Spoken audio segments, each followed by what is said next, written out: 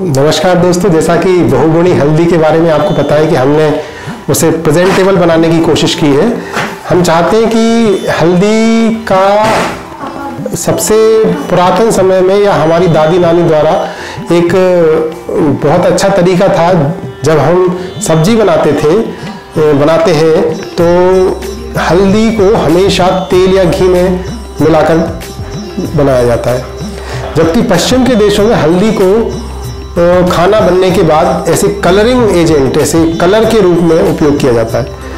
जब हमें ये बात पता चली कि हम एशियन और जो वेस्टर्न कंट्रीज़ हैं, इनमें हल्दी हमारे शरीर में, हम जब डेली उपयोग कर रहे हैं, खाने में हमारा एक महत्वपूर्ण घटक हो है तो फिर हम इसको कैसे, कितने मात्रा में हमारे शरीर में पहुँच पा रहा है या नहीं पहुँच पा रहा, या उसके जो फ़ायदे हमारे प्राचीन ऋषि मुनियों द्वारा बताए गए हैं, वो है भी या नहीं है।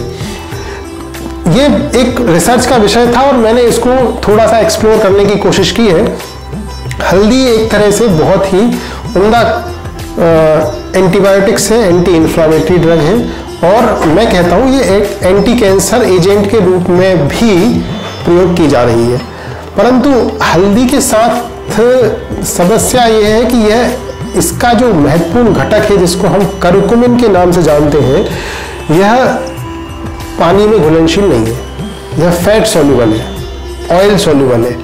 इसलिए हमारे भारत देश में हल्दी को करी में, तेल में, घी में, दूध में मिलाकर प्रयोग किया जाता है। पानी में इसका उतना अधिक इफ़ेक्ट नहीं मिल पाता, क्योंकि इसकी घुलन क्षमता उसकी है नहीं उसमें।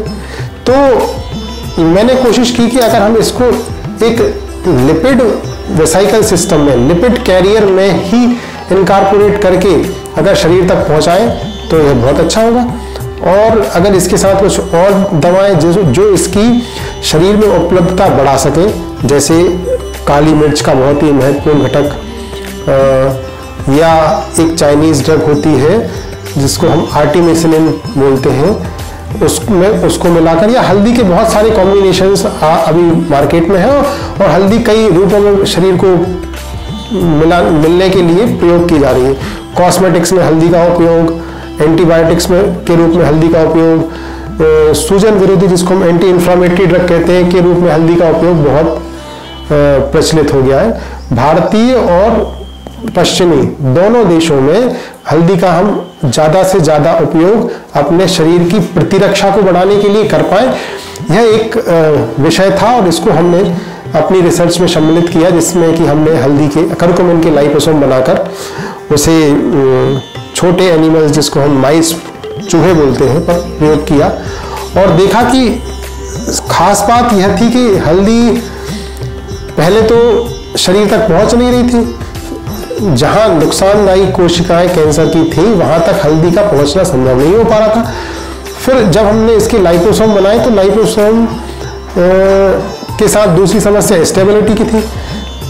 लाइपोसोम्स को हल बनाना और उसके बाद उनको स्टेबल रूप में उन कोशिकाओं तक पहुंचाना, जहाँ वो कैंसर के विरोध में लड़ सके। यह एक छोटा सा रिसर्च था, जिसे हमने पेटेंट के लिए भी अप्लाई किया है। और हम चाहते हैं कि अगर उतने रूप में हल्दी व्यक्ति तक, समाज तक पहुँच ना पाए, तब भी हम अपने दैनिक जीवन में जो हमारे घर में उपयोग होने वाली हल्दी है, उसका, उस कई के रूप में जो हमारी दादी नानियों द्वारा बताया गया है, ज़रूर पहुँचे। और सबसे अच्छा तरीका दूध में मिलाकर अगर आप हल्दी लेते हैं, उसके भी बहुत सारे फ़ायदे हैं। पहले हल्दी के बहुत सारे फ़ायदे के बारे में बताया गया है। मैं उन वैज्ञानिक तथ्यों पर ना जाकर आपको दैनिक जीवन में जैसे कि हम तुलसी, अदरक की चाय पीते हैं, इस तरह से अगर हल्दी को भी प्रयोग में लाना शुरू कर दें तो बहुत ही अच्छा होगा। छोटे बच्चों को कैंडी के रूप में आजकल हल्दी की कैंडीज बना के अगर उपलब्ध हो, तब हमारी इस रिसर्च की सार्थकता कायम हो पाएगी। धन्यवाद।